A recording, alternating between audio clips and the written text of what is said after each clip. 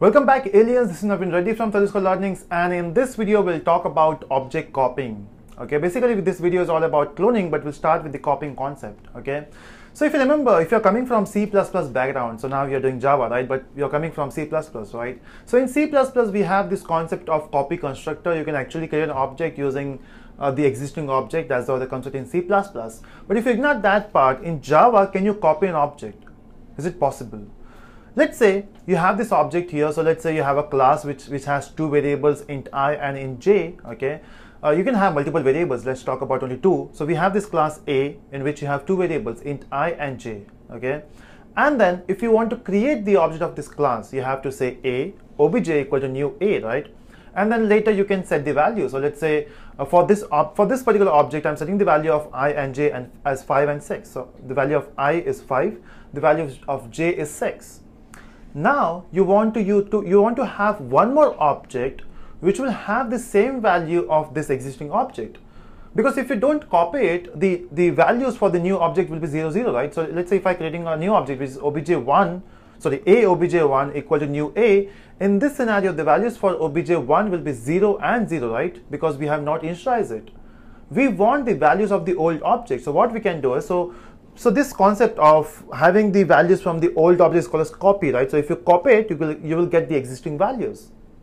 So this, this copy can be of three types. The first type of copy is shallow copy. The second one is deep copy. And then we have cloning. So what exactly this shallow copy means? So let's say if you want to copy, if you want to copy this object, one way is don't create a new object. Simply say a obj equal to the old object, which is obj. So we have the first line as a obj equal to new a the second line is a obj1 equal to obj. Now what we have is obj1 will have the same value as obj. But hold on, that's not the case, right? It's because you're not creating two objects, you have only one object and two reference. So if you can imagine it looks something, something in this way, in your heap memory you'll be having only one object and inside your stack you'll be having two reference and both these reference are pointing to the same object. So now if you change the value of obj1, it will, it will reflect to the values of obj because both are referring to the same object. So we are not actually creating two different objects, we are creating only one object and two reference, right? That is, that is shallow copy. The next one is deep copy. Now what it means? In deep copy, you will create a new object. So in total, you will be having two objects and manually you will copy one one value. Something in this way you have two objects. Uh, in fact there's a, this way right? You have two objects. One is a obj equal to new uh, new a. And second one is a obj1 equal to new a. So we have two objects.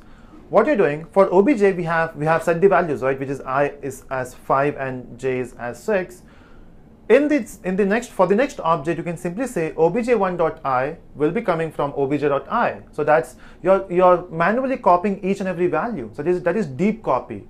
Again, you have to spend lots of time, right? You have to create an object, you have to copy each and every value. So there's no issue for two values. Let's say you have 15, 20 values. Will you copy one, one value? It's not a good, good thing, right? So that's, that is deep copy. It works, but, but that not, that's not a good way. The third way is using the concept of cloning. Now what cloning means is in, in, in this class which is object, you know, we have uh, object class, it provides you a feature of cloning. So let's say if you want to clone an object, simply say obj.clone. As soon as you say obj.clone, you don't have to create a new object.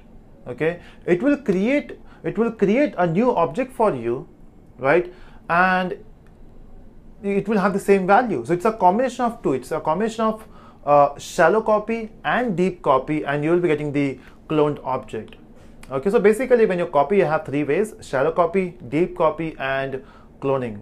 Now how exactly to do all this stuff in practical you can find in the playlist. So after this video, make sure you watch the whole playlist. It has around three to four videos which will explain you how to how to use shallow, how to use deep, and how to use cloning concept.